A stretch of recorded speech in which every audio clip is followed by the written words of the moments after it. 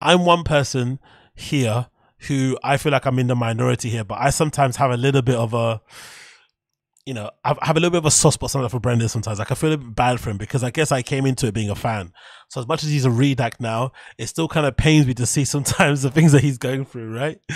And I feel like there's probably nothing more painful nowadays, especially if you're somebody that you put all of your self worth and all of your value in being friendly with Rogan.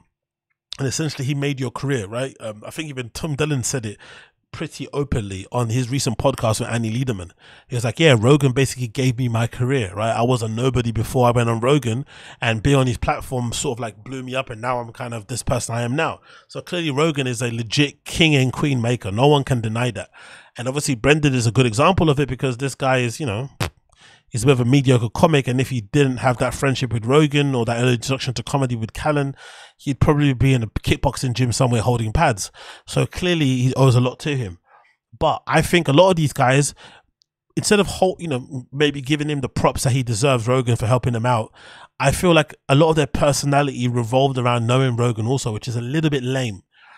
And it must be brutal when your fucking personality revolves around knowing Joe Rogan and then he kind of replaces you. And it's very obvious when he does. Because now you see Shane Gillis hanging around with Rogan a lot, Mark Normand, and all those other people. And it's very evident if you kind of keep your eye on things that these type of guys have effectively replaced the Eddie Bravo, Bryan Callen, Brendan Schaub type of circle of friends he hung around with. These are the new people. Even sometimes Ari doesn't hang around Rogan as much. But this Shane Gillis, Mark Normand type of friendship is definitely something that he's kind of cultivated to sort of replace the Brendan and Bryan's. And it must be so obvious when that's the case. You know, Brendan must know that this guy has definitely replaced him because he's big, he's a former athlete, um, you know, whatever else maybe, right? That kind of is where it stops.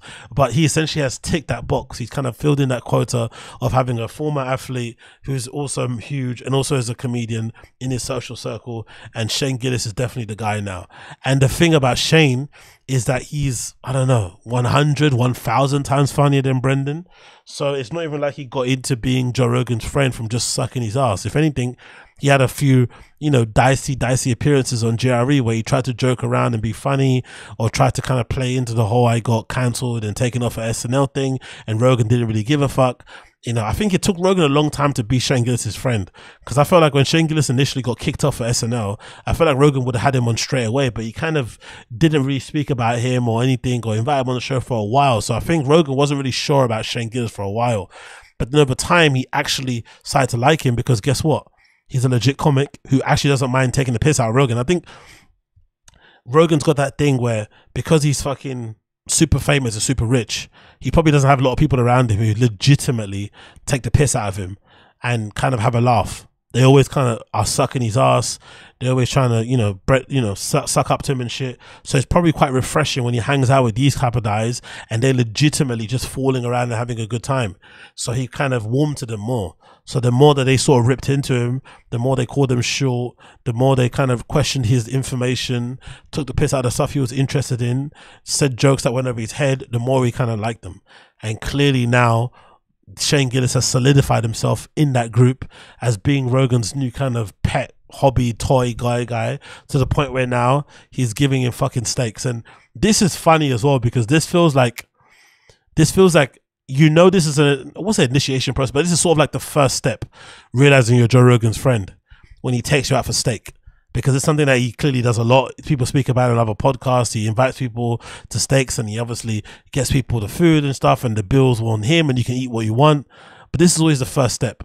When you know you're Rogan's friend, getting a steak. Now, if it's me and I'm going Rogan and he's buying me a steak, I'm getting the biggest thing I can get. I'm getting loads of sides. I'm getting dessert. I'm getting everything.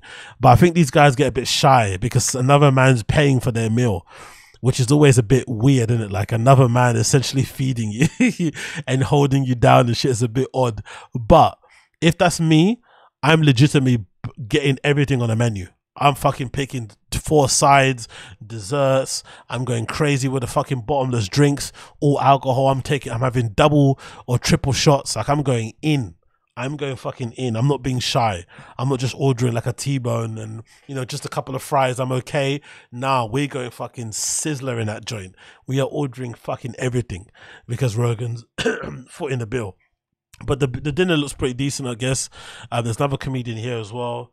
Who's this guy? This guy's called Brian Moses. Yeah, Brian Moses, I think there. And then there's another person here too. No, another picture of a steak also. So, you know, clearly, um, Shane Gillis and these guys have replaced Brendan, and it must be a bit of a bummer. Like you must feel a little bit aggrieved when you're Brendan because you know these guys have definitely, definitely, definitely replaced you. So you know, I guess it kind of is what it is in that regard, and he kind of has to suck that up. And there's another picture here also showing um, Shane Gillis and a few people on a what is it? What is it? What's this called? What? Because again, I don't bet. I don't know nothing about fucking gambling. What is this? Is this billiards? Is this what is this? Is this poker? What are they playing here? Tell me in the chat. This is poker, right? There's young Jamie, Shane Gillis, and the two guys from Bussin' with the Boys. Rogan there in the background. Some hangers on and shit. People saying Baccarat. is it actually Baccarat?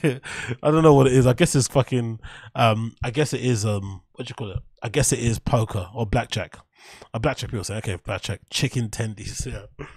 And it's funny as well because Shane Gillis actually does drink fucking Bud Lights. It's not a meme.